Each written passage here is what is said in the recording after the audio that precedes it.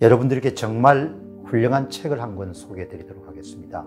이 책은 세계사의 중요한 사건과 관련한 또 중요한 인물과 관련된 예화라든지 그런 흥미로운 이야기를 함께 싣고 있기 때문에 전혀 지루하지 않게 읽어 나갈 수 있는 그런 책입니다. 여러분께 정말 아주 강력하게 추천하고 싶은 책이 기독교로 보는 세계 역사입니다. 정말 국민들이 죽고 사는 문제고 나라가 정말 예, 참 죽고 사는 문제인데 어쩌면 다 이렇게 할 수 있을까.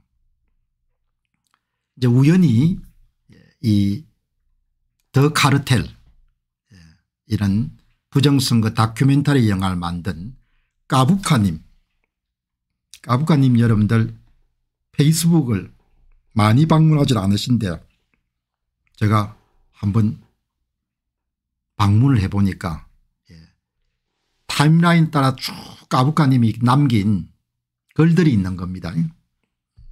그래서 그 글들을 가지고 내 의견도 좀 더해서 말씀을 드려야겠다.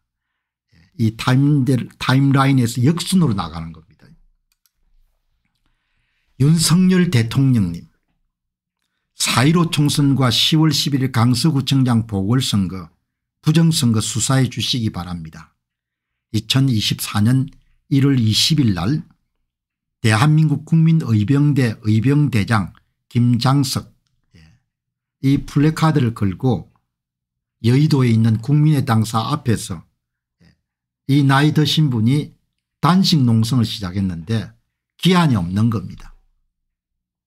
예, 내가 한 몸 정도 죽을 수 있다 이렇게 각오를 하고 어제 제가 방송을 내보냈죠. 방송 제목이 여러분들 뭐였습니까 국민은 단식을 대통령은 뭐죠 침묵을 예. 크게 나갔더만 불편했는지 예. 뭐 별다른 내용도 없는데 그냥 다 예. 그냥 노란 딱지를 딱 붙여가지고 뭡니까 예. 그렇게 했더구먼요.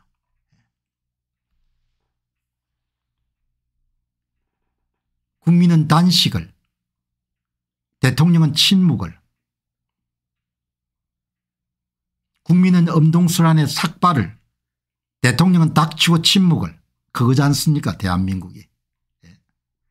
그 대통령에 대한 존경심이 어떻게 생기겠습니까 우리 대통령이다 이런 말이 어떻게 나오겠습니까 참 힘든 이야기죠. 예. 사람의 관계라는 것은 신뢰라는 것이 대단히 중요하지 않습니까 저분을 믿고 우리가 따를 수 있다. 저분은 참 훌륭하신 분이다. 저분은 참 좋으신 분이다 이런 생각이 지도자한테 들어야 그래 자발적인 복종이나 존경심이 생길 거 아닙니까 언동설안의 이름들 수많은 사람들이 삭발을 하고 노구를 이끌고 뭐죠 죽는 날까지 단식을 하겠다 이렇게 이름 외쳐도 용산의 이름들 대통령실은 우리 앞에서 부정선거 붙자도 이야기하지 마시기 바랍니다. 우리 선거 우리 앞에서 이런 부정선거 정자도 이야기하지 말입니다. 이따위 이야기가 나오고 국민의힘의 이름들 다선 의원 입에서 나는 아직도 부정선거가 없다고 절대적으로 믿고 있습니다. 이런 이야기가 나오니까 예. 너가 참 음, 너가 정말 인생 그렇게 살아서 안 된다. 그렇게 이야기가 떠오르는 거죠. 예.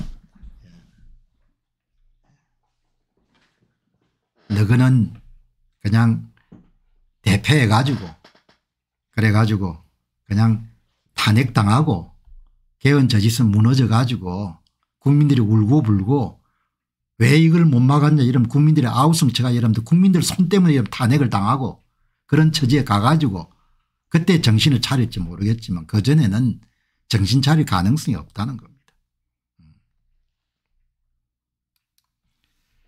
그 다음 이제 라인을 보니까 까부카님이 더 카르텔을 만드는 주역입니다.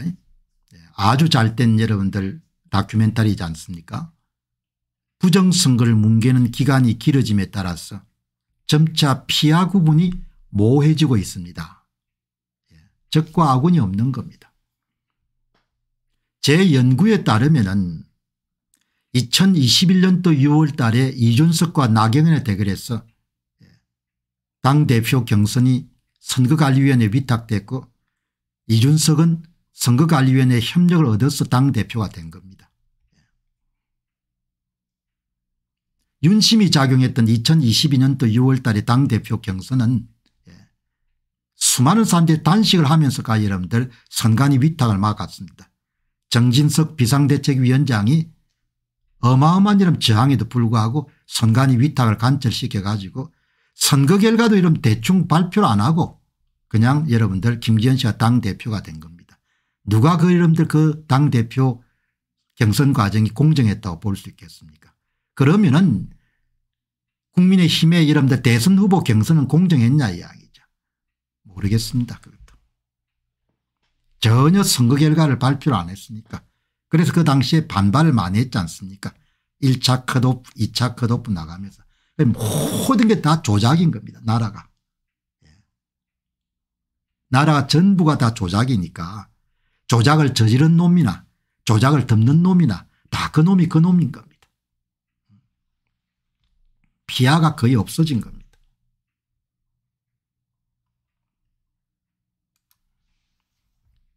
가부카님이 4월 10일 총선에 승리해서 부정성을 밝히자는 답답한 분들이 있습니다. 부정성을 안 밝히면 승리 자체를 못한다고요. 강서구청장 보궐선거 때는 감시 안 해서 당했습니까 예. 대한민국의 많은 사람들은 과학적 사고가 안 됩니다. 합리적 사고가. 논리적 사고가 안 돼요. 원인 결과가 여러분 잘 구분이 안 되는 겁니다. 그 반대편에 보면은 예. 고대인 사고 무속성 사고 예. 그러니까 이 고대인 사고인 겁니다. 교육을 받기는 받았는데 선거 부정을 막아야 원하는 결과가 나온다는 그런 논리 구조 자체가 돌아가지 않는 겁니다. 돈의 해로에. 그러니까 선전 선동에 취약하고 항상 뭐죠 예, 그렇게 선전한 사람들에게 놀아나게 마련인 겁니다. 전산 프로그램을 돌려가지고 214석을 만드는데 무슨 수로 너가 이길 거고 어? 내가 투박한 경상도 말로 한번 이야기할게요. 너가 어떻게 이기노 응? 선거 이런 전산 프로그램을 돌려가지고 득표수를 만드는데 어? 국민의 힘이 대표를 어떻게 안 하노 응? 내가 한마디 더 합시다. 어? 강서구청장 보궐선거에 그렇게 경고를 했는데 수많은 사람들이 가가지고 선거구가 단일 선거구니까 여러분들 가가지고 감시 감독을 했는데 전산 프로그램 돌려가지고 사전투표자 수 기준으로 35% 2020년도 4.15 총선이 25%니까 10%를 더 조작한 겁니다. 양 후보 여름 득표수 격차가 17% 진교훈 더블당 후보 여러분들 당일 투표 득표율이 30% 사전투표 득표율이 65% 미친 숫자지 않습니까? 그렇게 여러분들 조작을 해도 윤 대통령이 아무도 이야기를 안 하니까 얼마나 4월 10일 날 여러분들 조작을 야무지게 하겠습니까?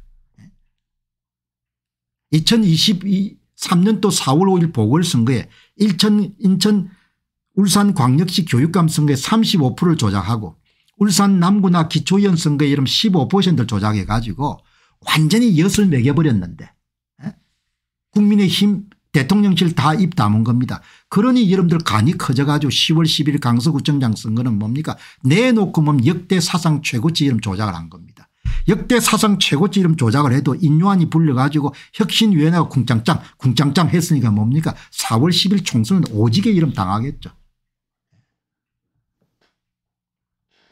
내가 국민의 힘을 이렇게 뭡니까 질타하는 세상이 오리라고는 생각을 한 적이 없고 내가 이렇게 나라가 무너지는 것을 안타까워해서 일선에 나서가 여러분들 이렇게 투쟁하리라고는 예, 꿈에도 생각한 적이 없는 겁니다. 나라가 이 정도까지는 망가지를 선거까지 망가질 정도까지 생각한 적이 없죠. 그냥 대중영합주의 때문에 나라의 경제적으로 좀 어렵지만 나라의 근간인 선거 자체가 날아가 가지고 완전히 나라가 뭡니까 중국의 속국이 되는 그런 비극이 발생하려는 생각을 안 했던 거죠.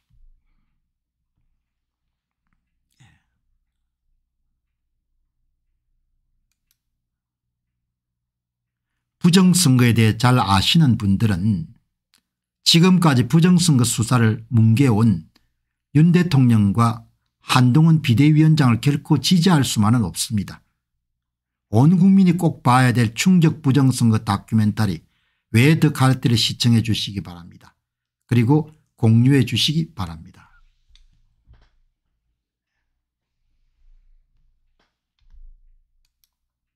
박근혜 대통령 당선 무효 집회에 참여하고 결국 박 대통령을 탄핵시킨 사람이 대통령이 되었고 취임 2년째를 향하는 가운데 중대한 4월 10일 총선을 얼마 남겨놓지 않은 시점에서 부정선거의 붙자도 안 꺼내고 있습니다. 그 와중에 부정선거에 대해 이해도 높은 국정원장은 해임되었습니다. 그의 신봉 역시 부정선거에 대해서는 모르쇠로 일관하고 있습니다. 그렇다면 앞으로 부정선거 수사할 가능성이 높겠는가 아니면 뭉갤 가능성이 높겠는가 믿고 가만히 있는 게 맞겠는가 아니면 수사라고 외치는 게 맞겠는가 그렇게 물은 겁니다. 제가 까부카 님이 하신 마지막 주장에 대해서 질문에 대해서 제 이야기를 드리게 되면 윤 대통령은 부정선거 붙자를 재임 기간 끝나는 동안 안 할 겁니다. 절대 안 할 겁니다. 왜? 그 양반이 원래 그렇게 생겨 먹은 거고 본인 이익 때문에 할 수가 없는 겁니다.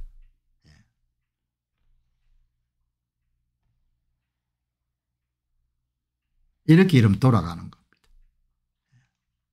이때 나이가 뭐죠? 뭐 50대 말이니까 사람으로 한 사람으로서는 거의 생각의 틀이 다 만들어져 있던 된 거죠.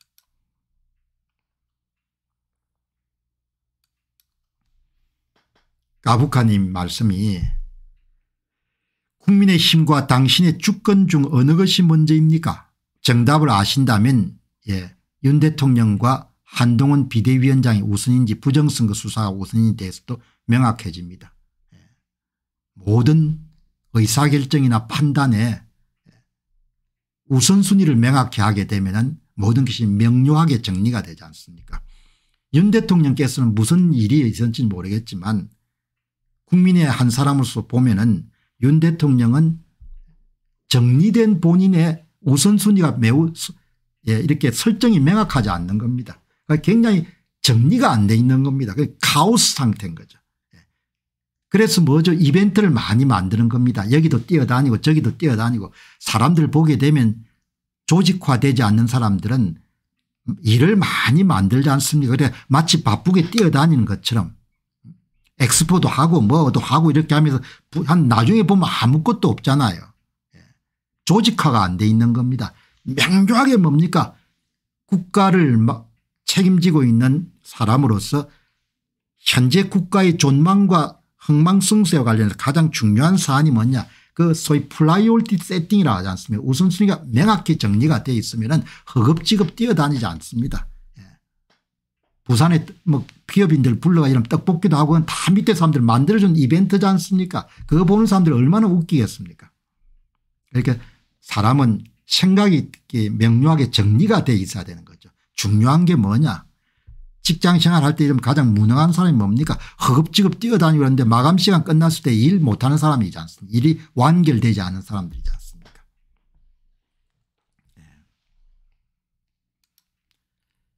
이재명 총선은 최소 151석 목표 원희룡 나 따라 출마 이해가 안 간다. 이게 아마 1월 18일 기사한 모양이네요. 예. 가부카님이 일단 과반 이상으로 설정이 다 끝났습니다. 과반 훨씬 넘었을 겁니다. 예. 3분의 1 통과할 겁니다. 왜? 돈이 안 드니까 조작하는데. 여러분 중요한 것은 돈이 안, 드, 안 듭니다. 위험, 위험하지도 않습니다. 아홉 번 해봤기 때문에. 돈이 많이 들거나 위험하면 좀 조심을 하게 되겠죠. 그러나 돈이 안 됩니다. 사전투표를 조작하는 것은. 그리고 크게 위험하지도 않습니다. 왜? 예. 권력이 미래 권력이 그쪽이기 때문에 선관위 사람도 다 그쪽에 줄을 서는 겁니다.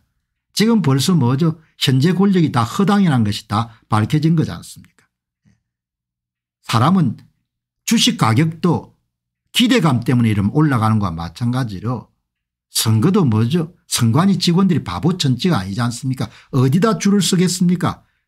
윤 대통령이 줄 서겠습니까? 그거는 다 흘러간 여름 권력인 것이고 미래 권력이 누구냐? 본인들이 선거를 만지는데 그 선거를 계속 만지면 누가 몇십 년 할 건지 뻔히 알지 않습니까 누가 몇십 년 할 걸 알겠습니까 윤 대통령을 다른 사람이 몇십 년 집권하겠습니까 아니면 그 반대쪽에서 몇십 년 집권하겠습니까 그걸 어느 누구보다 잘 아는 사람이 누굽니까 선관위 사람들이잖아요. 선관위 여러분들 오랫동안 여러분들 그냥 갈고 닦은 사람들은 잘 알 거 아닙니까 우리가 이걸 만지니까 몇십 년 그쪽에 해먹을 거다. 그러면 3구 대통령 선거는 아니 그건 사고가 터진 거지 이렇게 생각하겠죠. 예. 이 까부카님이 한 이야기 글이 저한테 질문을 던지니까 훨씬 더 자연스럽게 인터뷰하는 식으로 여러분들 방송을 진행할 수 있습니다. 가끔 이렇게 해야겠네요. 예, 까부카님이 이게 여러분들 예, 당일 투표지는 일렬 번호를 절치선을 가 잘라야 될 거 아닙니까 이게 어딥니까 이재명 당대표가 나왔던 송영길 씨 지역구 인천 계양이죠. 예. 이 지금 고발된 상태지 않습니까 인천 계양에 나오는 투표지입니다. 이게 예. 이게 뭡니까 예. 인천 계양이 한 5% 정도 조작했을 겁니다. 이 빳빳하지 않습니까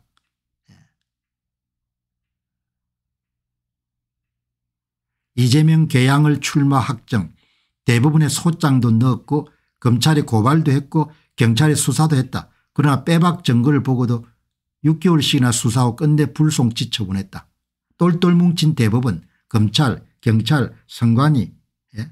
개양을 개양을 예, 이런 거죠. 한국은 공적기관이 완전히 무너진 것 같아요. 예. 그리고 이 공적기관들이 철두철미하게 중국 공산당에 의한 복속당할 겁니다. 그래서 나라가 그냥 넘어가는 거죠. 예. 그러니까 공적기관 어느 한 군데가 제대로 작동이 안 되는 겁니다. 윤 정부 들어서고 나서 공적기관 들 가운데서 그나마 국정원이 선관위 감사를 해서 이런 발표한 세 개 정도 그거가 여러분들 유일한 겁니다. 그 이전에는 뭐 검찰 폼 내지만 이원숙 씨 와가지고는 폼 내지만 예? 그 한동훈 씨 말만 하다 나갔지 않습니까 예. 그러니까 이 공적 기관들이 너무나 여러분들 이렇게 썩어 문드러진 겁니다. 2022년 지방선거에서 일어난 일을 낱낱이 밝힌 도둑놈들 5권 2022년 지방선거 어떻게 훔쳤나가 출간되었습니다. 이미 발간된 도둑놈들 1권 선거 어떻게 훔쳤나 2권 2022년 대선 어떻게 훔쳤나 3권 2022년 대선 무슨 짓을 했나 4권 4.15 총선 어떻게 훔쳤나 이어서 다섯 번째 발간된 책입니다. 여러분께서 구매해 주시고 주변에 널리 알려주셔서 선거 공정성 회복을 위해 전국민 필독서가 될 수 있도록 힘을 대주시기 바랍니다. 감사합니다.